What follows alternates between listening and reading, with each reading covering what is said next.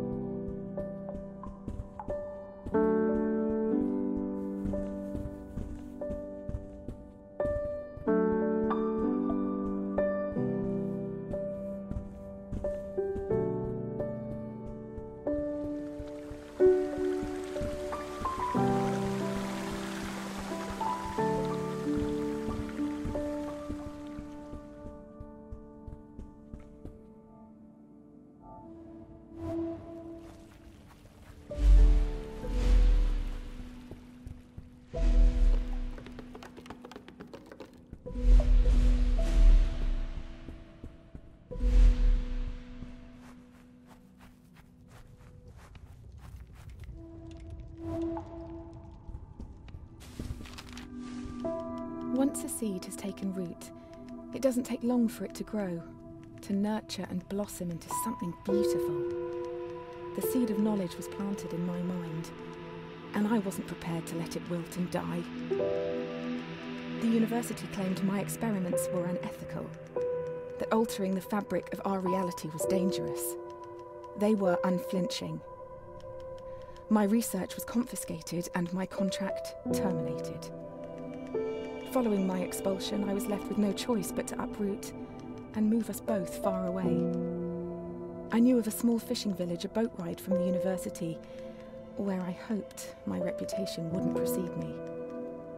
You and I moved into a humble home, which is now where you spent most of your childhood.